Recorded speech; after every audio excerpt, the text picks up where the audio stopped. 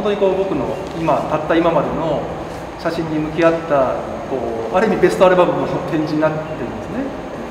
自分にとってのこうベストアルバムっていう写真の内容だったりとかどういうふうにこう写真っていうものを残していこうかなとか